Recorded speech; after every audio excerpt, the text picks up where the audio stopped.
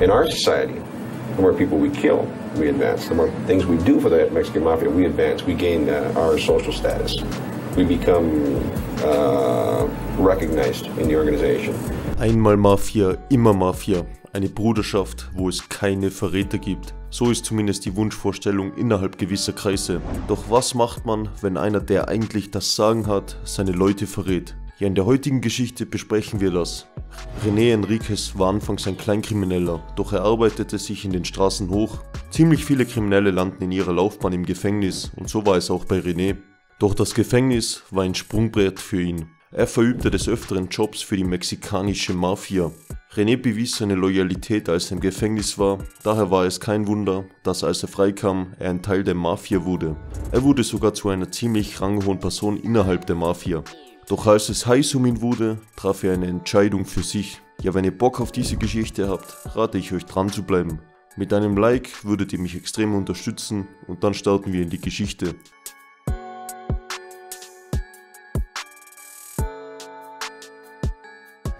René Enriquez wurde am 7. Juli 1962 in Los Angeles geboren.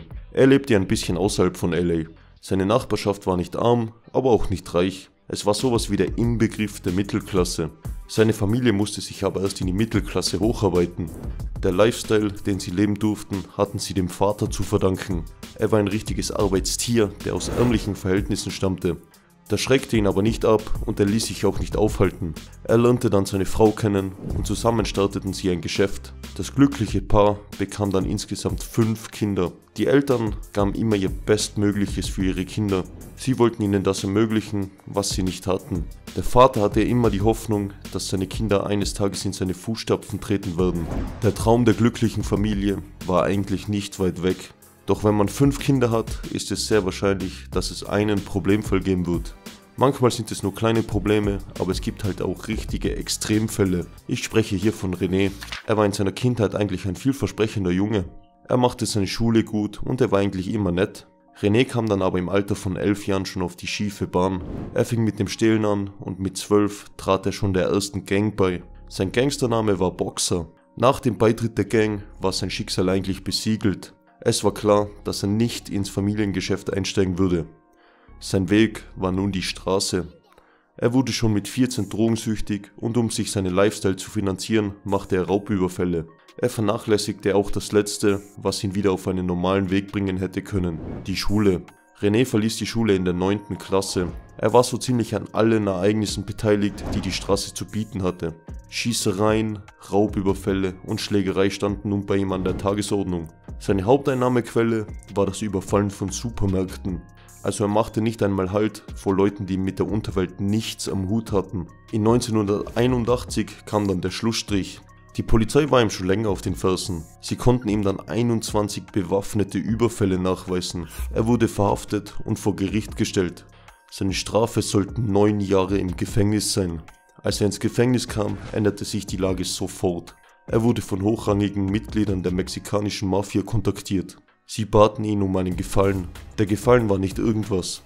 Er sollte einen anderen Insassen ausschalten.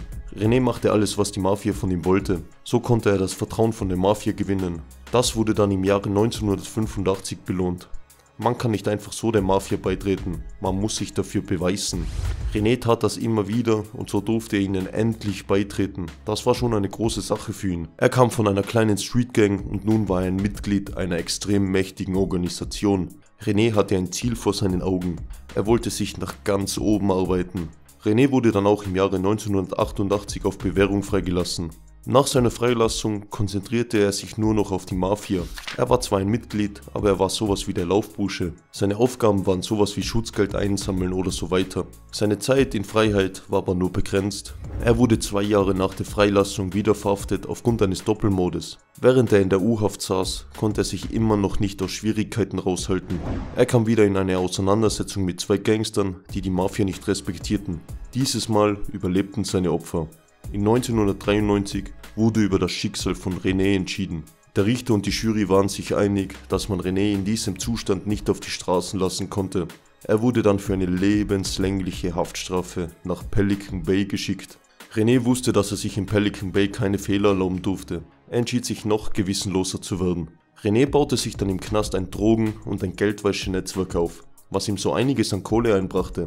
Man muss halt dazu sagen, dass er sogar in Einzelhaft steckte. Er war 23 Stunden am Tag eingesperrt, aber es war ihm trotzdem möglich, so eine Organisation zu leiten.